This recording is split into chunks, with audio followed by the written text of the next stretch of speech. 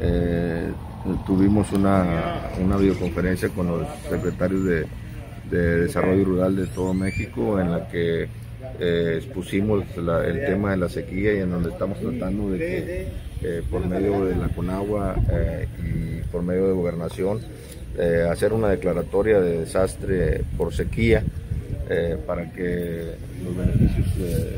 que de alguna manera estén estipulados en, en las reglas de operación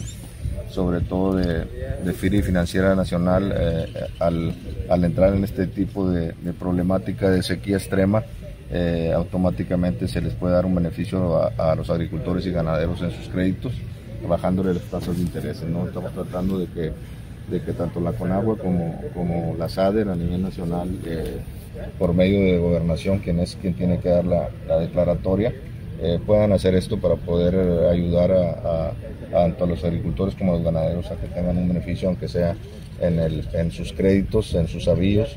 o en sus refaccionarios para, para bajar la tasa de intereses y con esto uh, aliviar un poco el, la problemática que va a existir si esto sigue creciendo. ¿no?